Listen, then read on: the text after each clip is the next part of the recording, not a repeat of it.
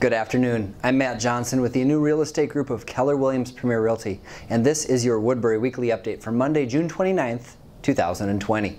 Today we're going to talk about some of the numbers of real estate around town and a couple of events. But first the numbers. Active inventory slides 4%. We have 220 homes currently for sale in Woodbury, while the pending number drops 4% as well. 247 homes under contract.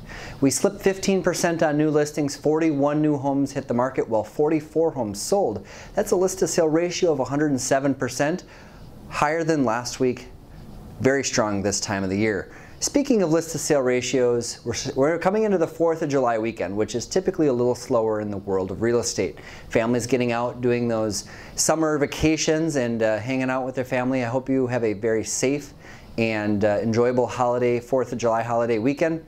Uh, just remember there are no fireworks with the city of Woodbury this year, uh, so if you're firing off your own fireworks, be safe, keep all your fingers, hopefully.